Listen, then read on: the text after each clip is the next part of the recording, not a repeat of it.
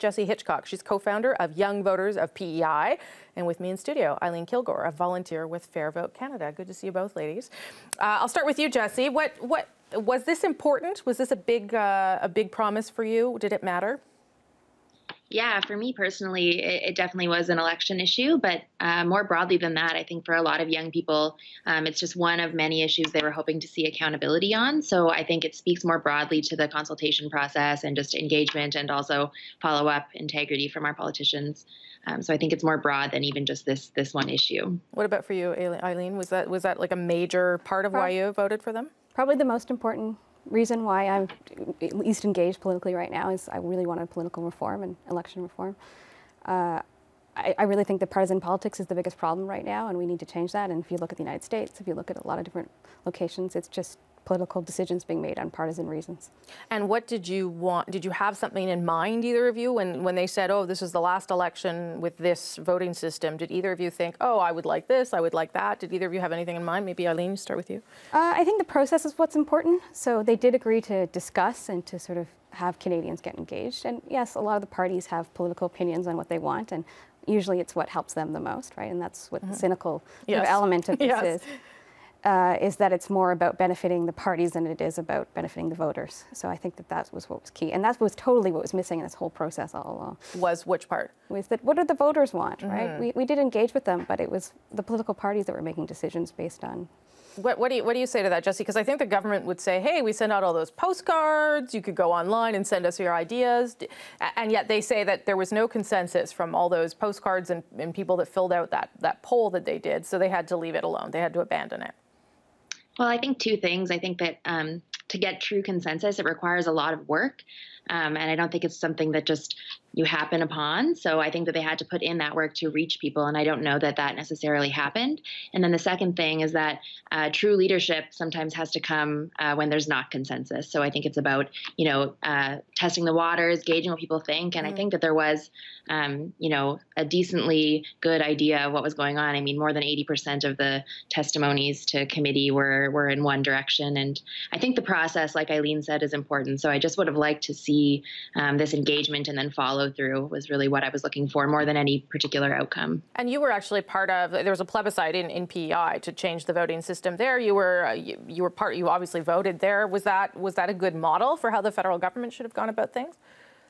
Yeah, the, the process here was similar. It was a little bit more engaging, I think, because we were actually voting. So it's a little bit easier than, uh, or at least more alluring than a, a, survey online. But I think that people here were really, really engaged, and young people in particular were coming out. We had events just about what is electoral reform, and people, more than 100 people, were coming out, all young, just trying to get their heads around these ideas and, and how can I make an informed vote.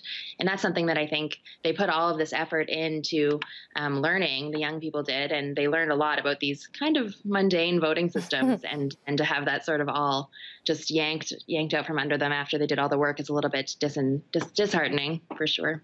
Uh, Eileen, was it perhaps should the government have said, you know, oh well, we still want to look at this, but we don't think we can get it done before the next election? Was was the promise just too big?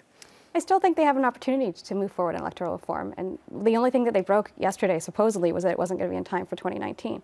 So I think they really should be spending the time figuring out what we should do moving, moving forward. And I think they need to remove it from a partisan process. I think they need to, the electoral committee was good, and they did a lot of really important work. First of all, they had to actually stand behind it, the, our, the liberals. But and what happened on that committee with the liberals dividing and not really sort of deciding to go against. And it was, it was, I thought the process was fantastic that they actually divided it based on proportional representation, mm -hmm. the inclusion.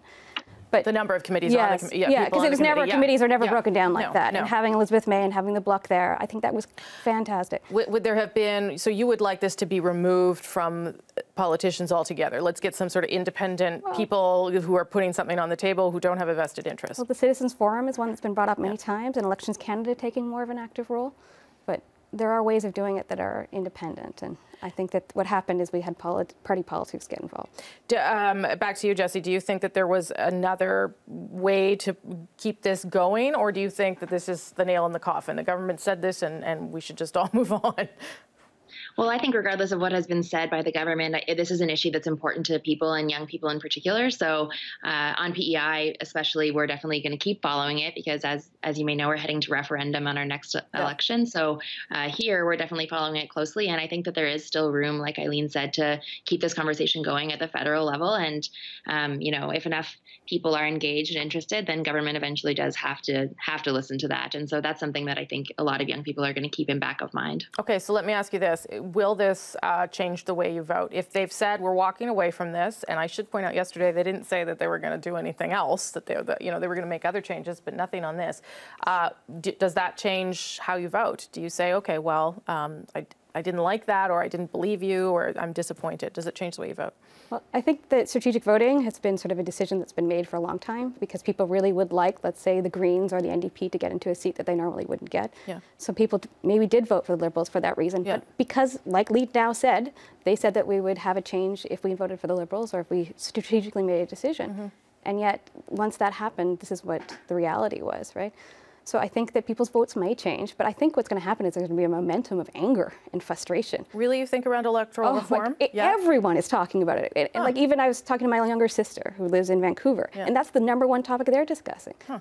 Right? Like I know we say it's bubbles and we say it's only certain people and political theorists that are involved, but it's actually the biggest issue that like everyone is engaged that I sort of maybe I'm more engaged, hence therefore people I know are engaged. But but, really, yeah. it, it is a major issue, and especially with the youth, because they know that the, the system is broken and they want to change it, right? And yet sometimes our, the older generation really wants to.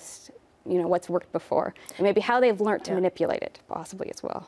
Jesse Hitchcock, do you think it'll change the way you vote, the way people you know vote?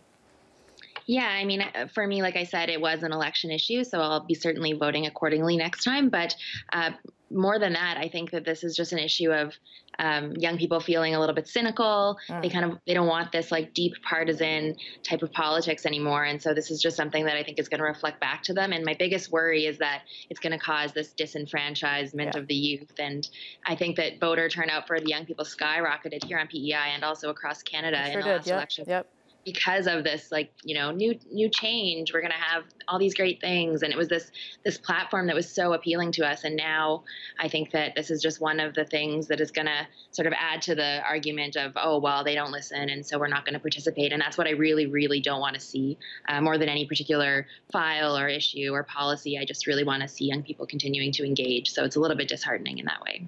Well i am pro engagement of people too. So thank you both. I appreciate hearing from both of you jesse hitchcock eileen kilgour. Thanks a lot. Appreciate it. Thanks so um, much. Thanks.